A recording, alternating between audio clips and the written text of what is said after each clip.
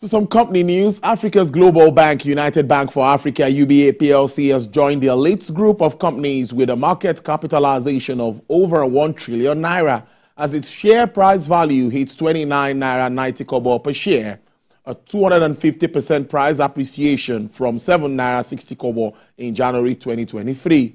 At the close of trading earlier today, the bank's market capitalization hits 1.02 trillion mark, making it the most capitalized financial institution in Nigeria. A remarkable lift from 283.8 billion naira at the beginning of 2023.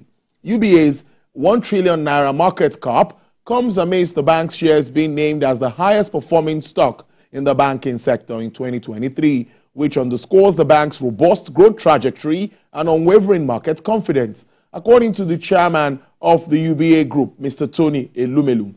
The bank's remarkable journey in 2023, which ended with its shares being acclaimed as the highest performing stock within the banking sector, reflects the commitment to delivering unparalleled value to shareholders and stakeholders alike.